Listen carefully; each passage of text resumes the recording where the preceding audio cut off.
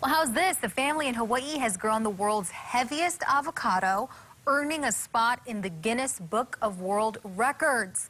The Pokini family on Maui grew this avocado, weighing in at 5.6 pounds. Julianne Pokini says she got the seed from a relative's tree on Oahu. She says it took about 10 months for the avocado to get so big. They didn't do much except keep it trimmed. Pokini says the family used the avocado for what else? Hmm. Guacamole, enough to serve about 20 people.